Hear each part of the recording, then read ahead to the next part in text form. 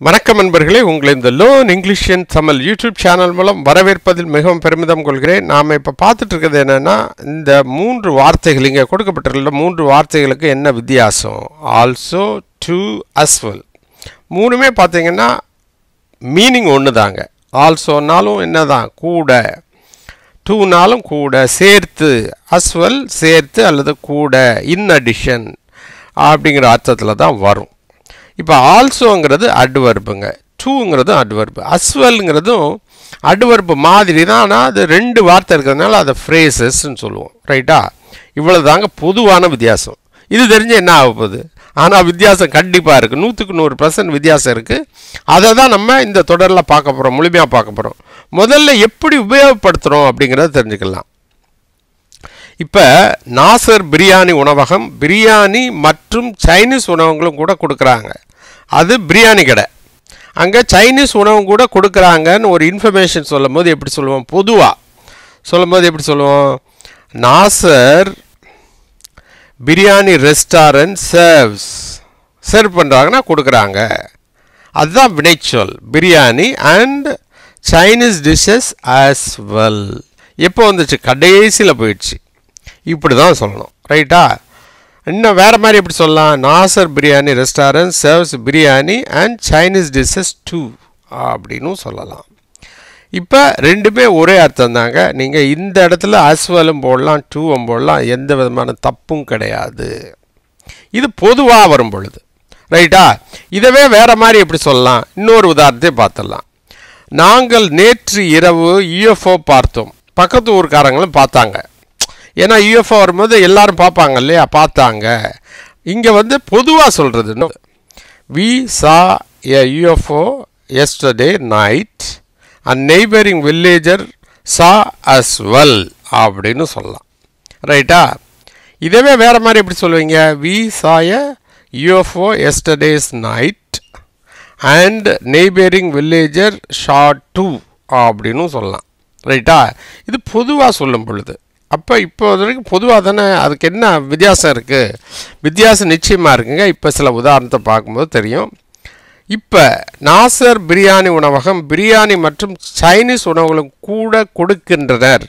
இதை எப்படி சார் வித்தியாசமாக சொல்கிறது அப்படின்னா இப்போ எம்ஃபசிஸ் பண்ணி சொல்லும் பொழுது ஆல்சோ யூஸ் பண்ண போகிறோம் ஆல்சோ பெரும்பாலும் எப்போ வரும்? வினைச்சொல்லுக்கு முன்னாடி வரும் அல்லது இடையில் வரும். Nasser biryani restaurant also serves Chinese dishes அப்படின்னா என்ன அர்த்தம்? You are emphasising that okay அங்கே சைனீஸ் உணவு கூட கொடுக்குறாங்க. சர்வ் பண்ணுறாங்க ஏன்னா பிரியாணி கடையிலேருந்து பிரியாணி தவிர வேறு எதுவும் கொடுத்தா அதோட பிரியாணி கடைக்கு வேல்யூ இல்லாமல் போயிடும். அப்படி இருந்தும் அவங்க என்ன பண்ணுறாங்க அந்த மாதிரி நேரத்தில் நீங்கள் ஆல்சோ யூஸ் பண்ணலாம். ரைட்டா இப்போ நம்ம முதல்ல பார்த்த சென்டென்ஸில் என்ன சொன்னோம்? கடைசியில் போட்டோம். இந்த இடத்துல என்ன பண்ணுறோம் விடைச்சொலுக்கு முன்னால் யூஸ் பண்ணுறோம் ஆல்சோ இது ஒரு வித்தியாசம். ரைட்டா Nasser biryani restaurant also serves ஜை Chinese dishes வேற ஒரு உதாரணம் பார்க்கலாம். நானும் கூட அந்த படம் பார்த்து கொண்டு இருக்கிறேன் எமோஷ்னலாக சொல்லும்போது உங்கள் ஃப்ரெண்டு சொல்கிறான் நான் இப்போ என்ன பண்ணிகிட்டு இருக்கேன் தெரியுமா? அந்த படம் பார்த்துட்டு இருக்கேன் அப்படின்னு சொல்கிறான்னு வச்சுக்கோங்க. அந்த நேரத்தில் நீங்களே சொல்கிறீங்க நானும் கூட அந்த படம் தான் பார்த்துட்டு இருக்கேன் அந்த மாதிரி நேரத்தில். ஐ எம் ஆல்சோ வாட்சிங் தட் மூவி ரைட்டா இந்த ஆல்சோ எங்கே வந்திருக்கு? இடையில வந்திருக்கு. இதை பொதுவாக நீங்கள் ஐ எம் வாட்சிங் தட் மூவி டூ அப்படின்னும் சொல்லலாம். ஆனால் அது பொதுவாக சொல்கிறது எம்ஃபசிஸ் பண்ணணும்னா ஐ எம் ஆல்சோ வாட்சிங் தட் மூவி அப்படின்னு சொல்லி தான் வேணும். அப்படி தான் இங்கிலீஷில் ஒரு எம்ஃபசைஸ் பண்ண முடியும். ரைட்டா அடுத்து ஒரு உதாரணம். இப்போ எனக்கு பசிக்கிறது எனக்கும் கூட. இப்போ ரெண்டு பேர் போகிறீங்க எனக்கு பசிக்குதுப்பா. எனக்கும் கூட. அவனுக்கு பசிக்கலாம் பசிக்காமல் கூட இருக்கலாம். பொதுவாக எனக்கு தான் அப்படின்னு பொதுவாக சொல்லும் போது அவனுக்கு பசி வந்து ஹண்ட்ரட் பர்சன்ட் இல்லை. கொஞ்சம் பசிக்குது அப்படின்னு சொல்லும்போது இந்த மாதிரி சொல்லணும். ஜென்ரல் ஐ ஆம் ஹங்க்ரி மீ டூ அப்படின்னா என்ன அர்த்தம்? எனக்கு பசிக்குது. ஆனால் அந்தளவுக்கு பசிக்கலை அப்படிங்கிற மாதிரி ஒரு சொல்லும் பொழுது இந்த மாதிரி சொல்லலாம். I am hungry me too emphasis பண்ணாமல் சொல்கிறது ரைட்டா இதையே என்ன டிஃப்ரென்ஸு அப்படின்னா இது அஸ்வல் வச்சு எப்படி சொல்கிறது எனக்கும் பசிக்கிறது. எனக்கும் கூட அப்படின்னா எப்படி சொல்கிறது ஆஸ்வெல் சொன்னோன்னா ஆஸ்வெல் வந்து ஆஃப்டர் வெர்ஃப் தான் வரணும். ஐ ஆம் ஹங்க்ரி மீ அஸ்வெல் அப்படின்னு சொல்லக்கூடாது. எப்படி சொல்லணும்? ஐ ஆம் அஸ்வெல் அப்படி தான் சொல்லணும். என்னது? ஐ ஆம் ஹங்க்ரி ஐ ஆம் அஸ்வெல் அப்படின்னு தான் சொல்லணும்.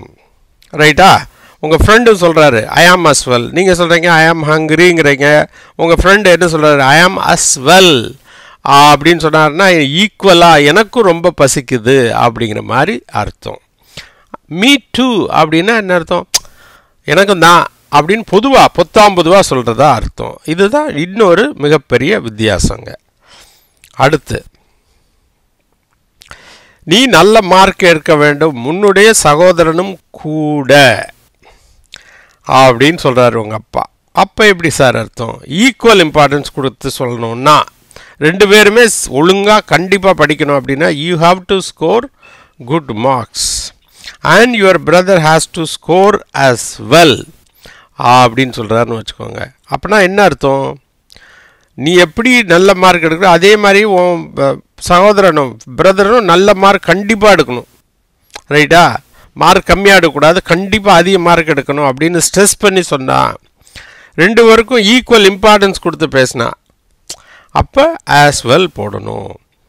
இப்போ இதுவே இப்படி சொல்கிறாங்கன்னு வச்சுக்கோங்க. You have to score good marks and your brother too உங்கள் பிரதர் அந்த நீ ரொம்ப நல்லா படிக்கிற பையன். உன் பிரதர் வந்து அந்தளவுக்கு படிக்க அந்தளவுக்கு படிக்க மாட்டான். அப்படிங்கும் போது பொதுவாக சொல்லும் பொழுது யுவர் பிரதர் டூ அவனும் மார்க் எடுத்து தான் ஆகணும் அப்படிங்கிற மாதிரி பொதுவாக சொல்லும் பொழுது இதுக்கு இம்பார்ட்டன்ஸ் அதிகம் கிடையாது. செகண்ட் சென்டென்ஸ்க்கு இந்த மாதிரி நேரங்கள்லையும் அந்த வித்தியாசம் வரும். இதுதாங்க பொதுவாக வரும் வித்தியாசம்.